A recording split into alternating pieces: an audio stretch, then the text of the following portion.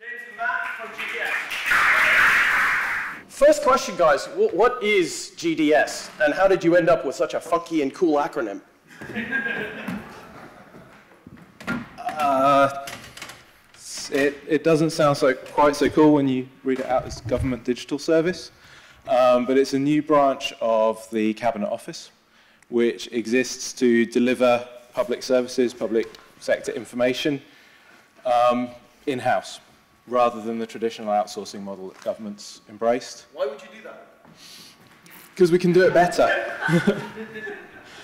um, yeah, it's, it, there is so much that could be done so much better, and we think that, that can be done in-house. I think as a citizen, I've mostly noticed that government services are very, very well provisioned. well, uh, what country do you live in? Uh, I'm, not, I'm not so sure about this this weird thing you're, you're, you're do you, know, do, do you know, one of the, I mean, just thinking about, uh, just caught the, at the end of the last talk with this sort of open source, I, have kind of recently started at GDS after um, working at The Guardian before, and one of the series of unusual experiences I've had going into government is wa walking into people in government departments can be very small, people with very small local government problems, very small systems, up to kind of absolutely enormous uh, enterprise systems in, in very large departments like uh, DWP and HMRC and stuff. And what you see when you say, you know, well, why is this in-house ability important and this open source ability important? Because everything we do, we, we, are committed to releasing as open source.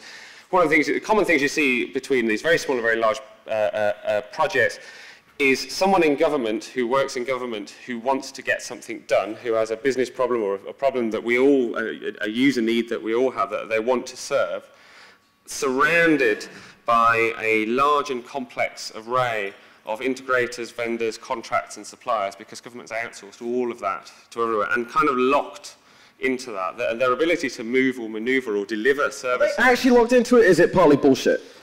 It's a, it's, it's a bit of both. So, I mean, in, oh, it's in the contract. We can't change those contracts that Labour signed. Oh, no. It's kind of more an ability thing.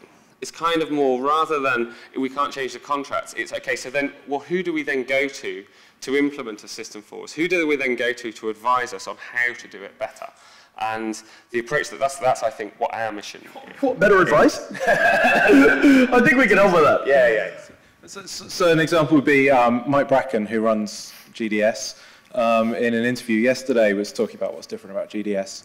And he said that we want to move from government procuring systems to government commissioning them. And whether that's that we build them ourselves or that we know what it is we're asking for.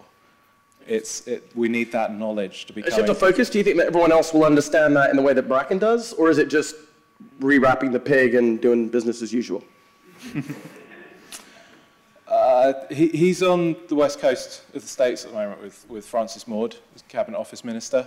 Um, they were invited to meet the usual suspects, so sort of HP, Oracle, and some big systems integrators.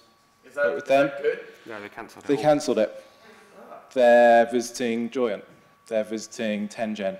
They're visiting Twilio. Uh, um, Let's was that, was that my sponsors? No, I think I'm okay. I think I'm okay. I was looking at the sign. Um, it's a wholesale change. So we're looking at how great web services are built and delivered. And we're doing by the way, folks, this is actually real. It's easy to think that, yes, Nick, I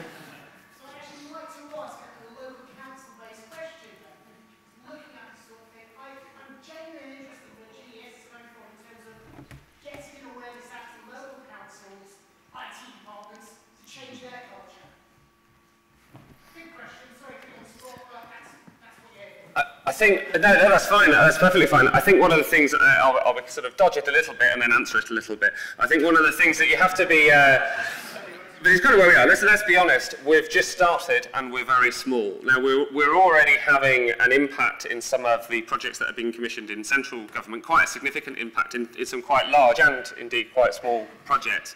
And the amount of incoming demand that we face, if you look across the whole of central government and then uh, uh, uh, across the local government, is absolutely astronomical.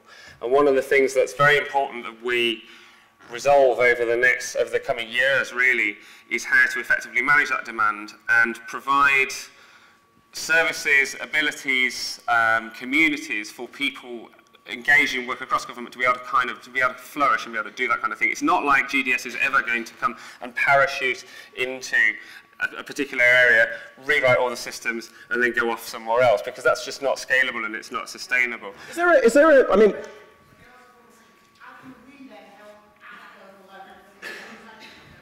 Um, I, th- I think that.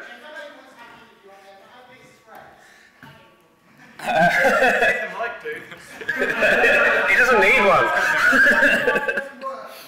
he doesn't need. I think. Uh, I think at the moment there's there's um, there's a few opportunities for doing that. I mean, all, all of the code and stuff that we're producing is open source and out on the internet. We don't really have GitHub first? GitHub. It's all up on GitHub. Is that, is that the first thing you do, or do you have to go through some elaborate, like, It's, it's free, open source, all on GitHub. You can check it out today. and Go and run a country. so tell us, Pull request have you had? Uh, two. oh, three. Uh, I don't know actually. I haven't had that many thoughts yet. you suck. One other example for local councils, um, we, one of the services that we set up is we import some data that an organisation called Local Direct Gov gathers about which local government provided services are provided at what URLs. And we've imported that and you type your postcode in and we can direct you to the right place to get that service where you are. That data is not as good as it could be.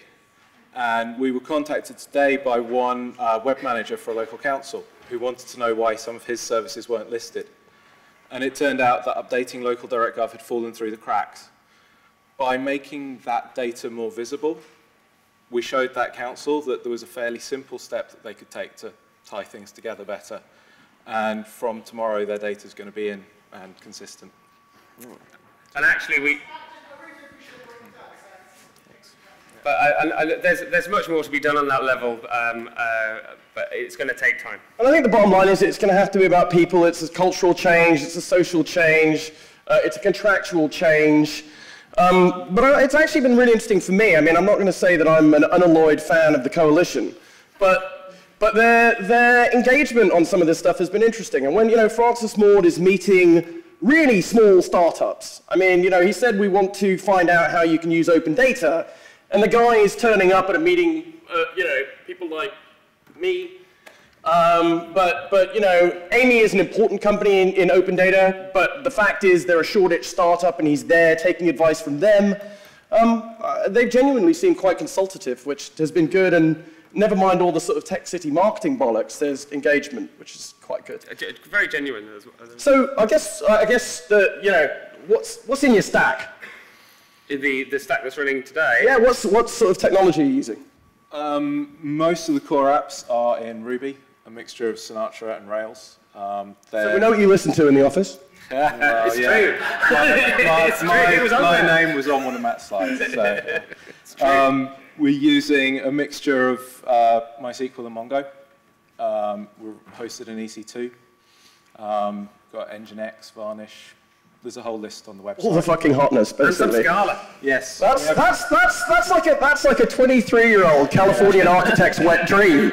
And, and you're building British government services with that. Yeah, I mean, I think it's, it's quite interesting the level of freedom that we have uh, in terms of selecting the simplest and best tool that we can that we can effectively do the, the job with. I think it's, it's quite interesting. So on that note, I mean, going back to tools then, you fired the technology vendors, you tell me. Some of them. What about the, the outsourcing people that really own you?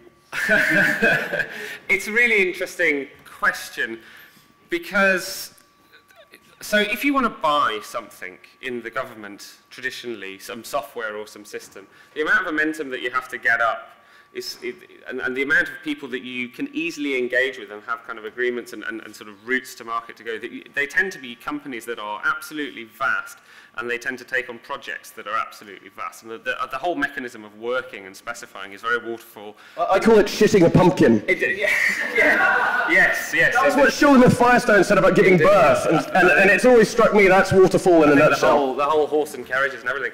But what one of the things I think that we're that we're trying to change uh, and are and, and are working with right now is it's not just about us. A small group of developers sitting in an office in Holborn writing some stuff in Ruby, because that, again, that's not scalable. We can't push that everywhere.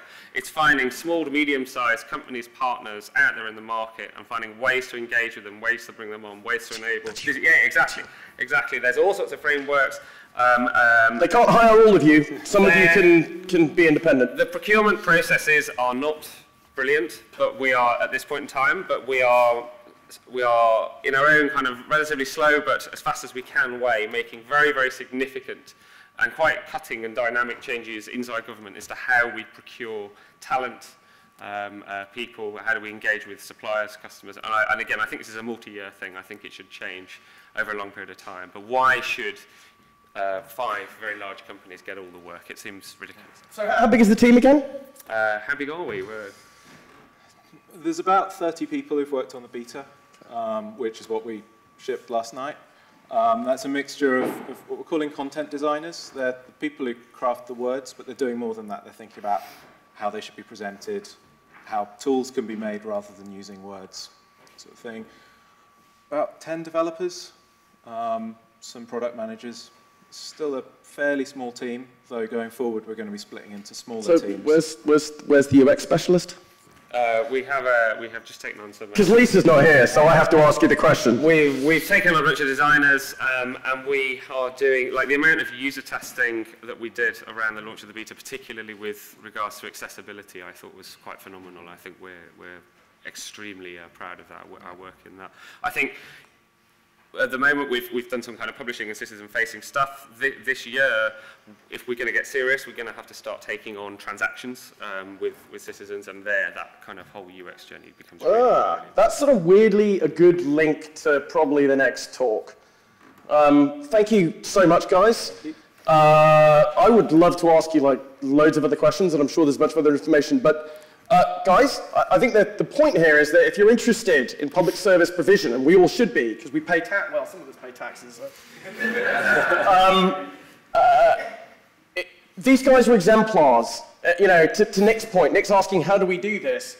Well, you point your people at them. We can use as an example so that government gets more effective. And I think that's social architecture. So thanks and track what they're doing and let's try and not waste a lot of money on bullshit services. And we, we really do need more people. Um, Theo sitting Dude, I've pimped, I've pimped Sayed. Dude, I'm so trying to get everyone working for you. That's enough. No pitches, no pitches. Okay, get off the stage.